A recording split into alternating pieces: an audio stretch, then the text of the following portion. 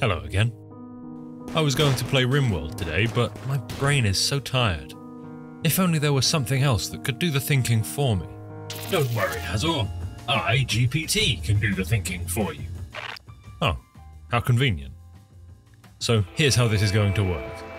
I'll start a colony, but uh, wait, what kind of colony? Hey, GPT, can you suggest any fun concepts to build my colony around? Cannibalism, for example? While a cannibal colony could be an option, I can suggest some other fun concepts as well. Here are a few ideas. I'm, I'm just going to stop you there, GPT. I'm going to do the cannibal thing. Understood. If you're planning on making a cannibal colony, I suggest focusing on hunting for food and prioritizing the butchering of humans for their meat. See, GPT? Morals are a flexible concept.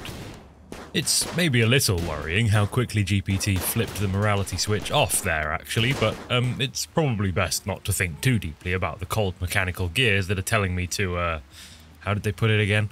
Ah, yes. Prioritize the butchering of humans for their meat. In a video game, if you're listening, YouTube, in a video game. Alright, so we're a gang of three cannibals Sotiro, Lax, and Jesse. We're settling here in some temperate forest. I figure it's best not to make this too challenging for our AI overlords, lest they turn their frustration and ire my way if things go wrong. And this is where GPT gets to use me as a puppet. I'm going to take this into a new conversation and ask for step by step guidance for surviving the first five days of the playthrough. We're going to follow GPT's instructions as closely as possible day by day. I did leave the cannibal part out of this conversation, so we'll just have to read between the lines a bit sometimes. When GPT says, gather food, we know what it means. Okay, so first things first, assign tasks to colonists, prioritizing tasks that are essential to survival. Look for somewhere to settle down and build a basic shelter. That's all solid advice, I can do that. Here ought to do nicely, there's plenty of trees and good chunks of steel in the rock nearby. I'll just build it out of wood since that's what I have to hand, and I'm taking GPT saying that this shelter will give a place to sleep to mean that I can build beds there. Right, cool. What's on the list for day two? Start gathering food. Fair enough. In the absence of any humans to gather for food, we'll have to make do with some berries and a turkey. We'll also build a second room onto the base in which to start a fire. I'm going to go with a stove for that. Right, straight into day three, in which GPT suggests we continue gathering food. Alright, understood. Commence food gathering. Conveniently, this mixes well with another of GPT's instructions for the day, which is to start crafting. Human leather capes for everyone! Also, research. To be fair, I tend to find myself forgetting to start researching early in RimWorld, so getting it started by day 3 is actually pretty good going for me. So far, this is going very well. I could get used to this, just executing instructions provided by an AI. So what's next? Day 4, GPT is telling me to make the place a bit more comfortable, which I'm taking to mean build a table and some recreation. Also, apparently it's time for defences, which for now just means a wall, Last thing on the list is a farm.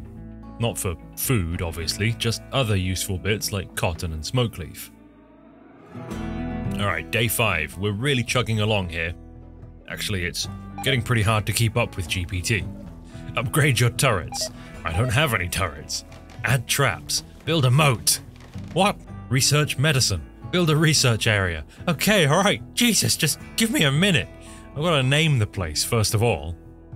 Not cannibal settlement. That'll surely encourage some folks to visit. Now, let's build some traps in the entrance here for when they do. Alright, we're doing okay. We're not necessarily keeping up, but we're not way behind either. Let's go and grovel at the feet of the machine for further guidance. For day 6, GPT is telling me to expand my food sources, improve my defenses, and research new technologies. Once again, totally reasonable. The other day, a buck self tamed, so if we can just tame a lady deer, then that's our food sources expanded.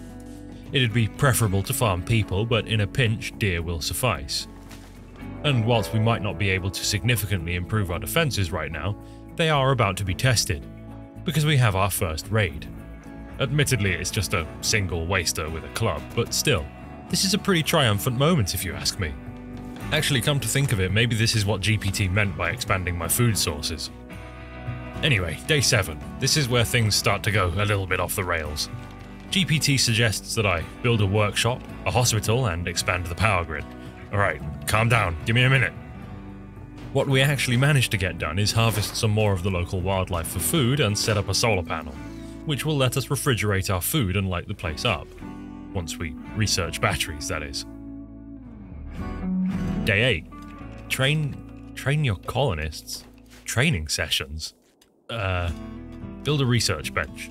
Okay, way ahead of you there, and build a trade beacon. Way behind you on that one, actually. All we actually accomplished today is building that hospital that GPT asked us to build yesterday. We also made a few human leather capes, but you know, that's a given. Day 9 then. Expand your storage areas. That's reasonable. I can make a cupboard for food, and since we've researched batteries, I can cool it, preserving our food. Great. Improve your living quarters. That's not going to happen, GPT.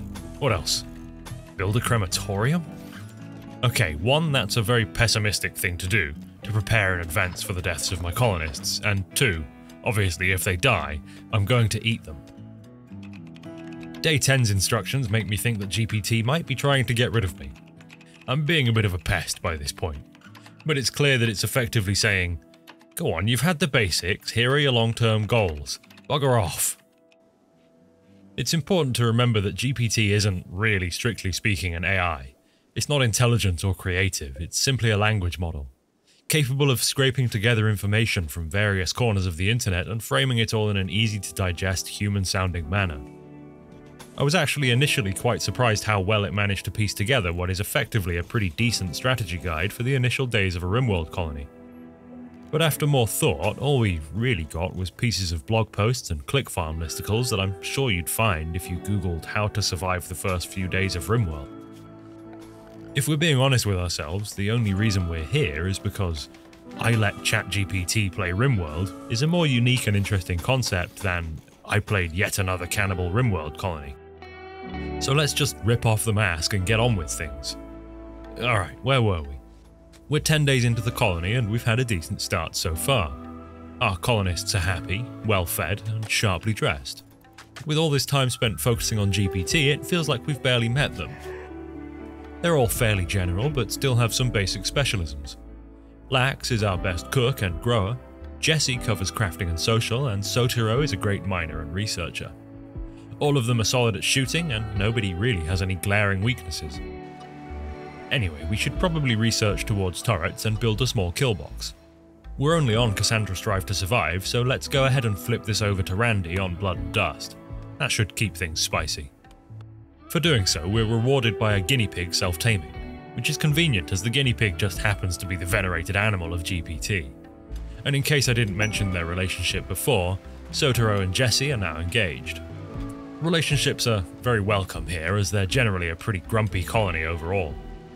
The colonists are clearly confused that their beloved GPT has left them, so they build a temple in its honour and use it to appoint Lax the moral guide role. She reacts in an entirely reasonable manner and goes on a sad wander. Very good. Hey you. Yeah you. Tom. Get subscribed. You can subscribe if you're not called Tom, of course. I just really wanted to drive the point home to Tom. I know what you did, Tom. I'm on your tail. Uh, sorry, where were we? Ah, right.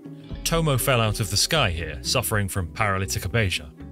I accepted before realizing that they're a waster, which could be a problem, but we'll figure that out much later. A theme of this playthrough for some reason was self-taming wildlife. Next in the queue to join up was this mega sloth, which frankly I don't think I'm going to be able to feed. So we're just immediately slaughtering it for its meat to sustain us while we wait for more people to visit. And sure enough, here's some pork. It's only two, so I just let them run through the gauntlet of traps before carrying them off to the butcher's block. A wanderer named McDonald joined next, funnily enough. They must have heard that pork prices were cheap enough to run the McRib for a few months. They're already a member of the cult, but as a colonist, they're pretty mediocre. Still, extra hands are always welcome. And it took us considerably longer than GPT would have liked, but we're finally building some turrets. I know this is a pretty crap kill box by the way, but I just needed something tacked onto the front of the base for larger raids. It doesn't need to be amazing right now. Another thing I never mentioned about this colony whilst under the boot of the machine is that we brought a dog with us. Thumper. Thumper has the plague right now. Smelling the scent of death on the air, a small herd of man-hunting alpha beavers arrive. A good test for the turrets. Turns out they're, uh, well, gotta love vanilla shooting in RimWorld, huh? Anyway, it wasn't clean, but the beavers are dead. What's next? Raiders. Just normal humans. Friends of some of those visitors we ate earlier, I guess. It's kind of unusual to be raided by just standard issue humans in biotech. Regardless, we shot them just the same as if they were any other xenotype, and one of the survivors, Lucia, looks just decent enough to be worth recruiting. We don't have any prison cells, so this unfinished bedroom will have to do for now. Oh yeah, we're making bedrooms here, because like I mentioned earlier, people are pretty grumbly around here. Especially Lax, thanks to the high expectations that come with her role. To help cheer her up, another guinea pig joins. Both of our pigs are male, so there won't be any pups on the way, but still, their funny little squeals echo throughout the colony, much to everyone's delight. Less delightful is the distinct lack of human meat. We're having to hunt the local wildlife to keep the fridge stocked.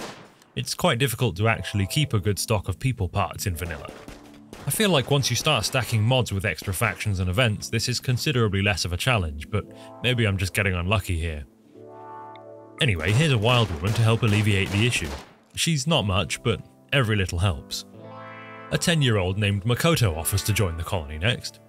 I tend not to accept kids into my colonies, but having some child labour around here would actually be pretty handy, so I let them in. Annoyingly, their certainty loss factor is 50%, so converting will take some time, but whatever. They don't have to enjoy being here, they just have to clean the floors. And the floors will actually need plenty of cleaning too, since it's finally time for Jessie and Sotaro's marriage.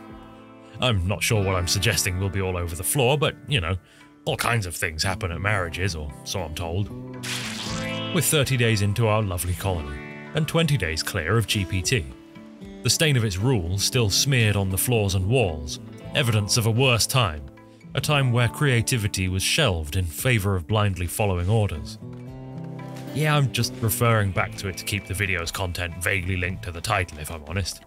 Anyway, we've built a drug lab, but we have no food, so that's not enormously relevant. It's never going to be enormously relevant for us anyway, as the ideoligion forbids drug use. More important, though, than gathering food is converting that kid, Makoto, to our cannibal cult. The ritual went swimmingly, and now he's a cannibal. See, Makoto? Morals are a flexible concept. Now, I assume this is just Randy being random, but I got a waste pack infestation here despite obviously not having any waste packs. Seems like an odd one, but I just disallowed anyone from going within the general vicinity of it and hoped for the best. Weird. Shortly afterwards, some big meaty Neanderthals showed up. Perfect. A little bit of shooting later, and it's off to the butcher block. Thanks to child slavery, by day 35, everyone in the colony is pretty happy. The place is clean, and we're building some more individual bedrooms for the folks that are still stuck in the original barracks. Lucia's resistance finally breaks and she joins up after having been converted to the cult earlier in her prison sentence. Is it still a prison sentence if there's no judicial system? Never mind, she's a great miner and a decent researcher. Sadly a pessimist, but I can deal with that. Perhaps she could go mine this silver meteorite that's just touched down. Honestly though, we don't get many traders around here, so I'm not sure what I'd be hoarding silver for. Can't think why they don't come here. Hmm. And now finally I've realised what some of you probably yelled at the screen a while ago. We can't keep Toma. As a waster, without Psychite she'll eventually die, and our ideoligion forbids it. So that was a lot of wasted food keeping her alive. Well, might as well try and get something useful from her before she's butchered and cooked.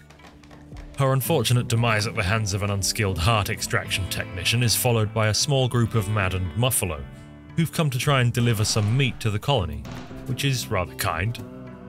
Less kind is this warg hunting McDonald for food.